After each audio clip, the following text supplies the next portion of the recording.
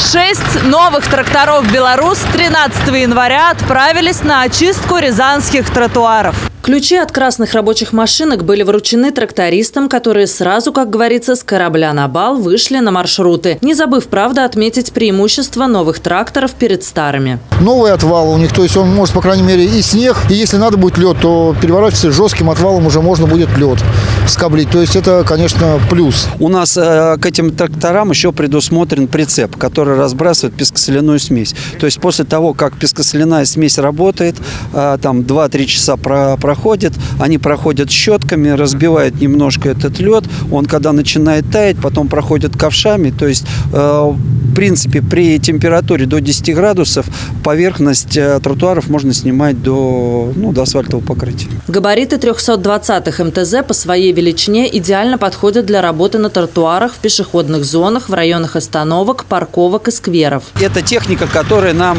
сегодня необходима именно для уборки тротуаров, пешеходных переходов, остановок, там, где как раз жители нас всегда вот достаточно а, много критикуют за уборку. Вот, поэтому сейчас вот первый этап того, что мы приобрели эту технику малая, которая будет работать у нас в зимний период именно по расчистке а, тротуаров, пешеходных переходов, остановок.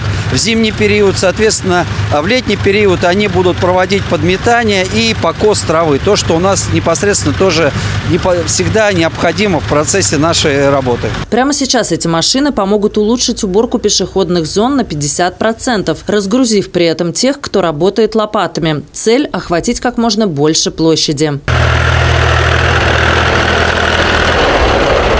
Ну а чтобы новые машины служили дольше и лучше, трактористы следят за каждым винтиком в тракторах. Машины будут проходить предварительную подготовку и регулярное обслуживание. Обкаточку пройти весь проверить, но новый это есть новый. Хорошие эмоции положительные.